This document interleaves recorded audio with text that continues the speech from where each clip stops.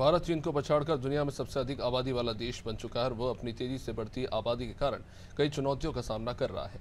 भारत की आबादी एक दशमलव चार अरब हो चुकी है और हर साल इसमें लगभग एक प्रतिशत की वार्षिक दर से वृद्धि हो रही है। ये जनसांख्यिक बदलाव जटिल है और भारत में मानव विकास पर इसका दूरगामी प्रभाव पड़ेगा।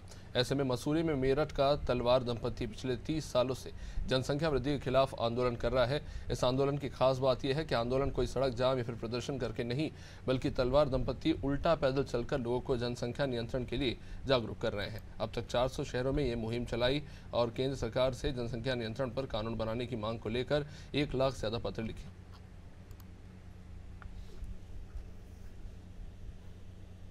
सरकारों से ये मांग कर रहे हैं कि देश में अब दो बच्चों का कानून बनना चाहिए और ऐसा शायद भारत में होता है।